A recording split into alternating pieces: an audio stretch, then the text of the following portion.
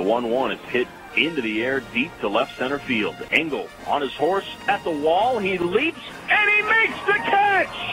Unbelievable play by Engel, robbing a home run from Solomon. We may not see a better play all year long.